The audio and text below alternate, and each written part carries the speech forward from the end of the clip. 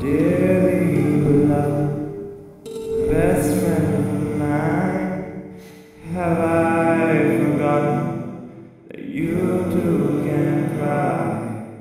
If there are warnings, I will pay heed. All is forgiven, just sit down with me. And if I feel lonely, and if I feel